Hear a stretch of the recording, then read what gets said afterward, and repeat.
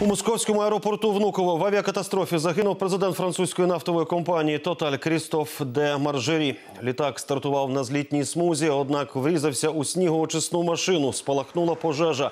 Загинули всі, хто був на борту, крім бізнесмена, двоє пілотів та бортпровідниця. 60-річний водій снігоочисної машини не постраждав. Його відправили на перевірку на алкоголь. У вересні французька компанія Тоталь оголосила про припинення співпраці з російським Лукойлом через західні санкції. Йшлося про спільну розробку родовищ у західному Сибіру. Однак Тоталь має е, 20% у газовому проєкті на Ямаль.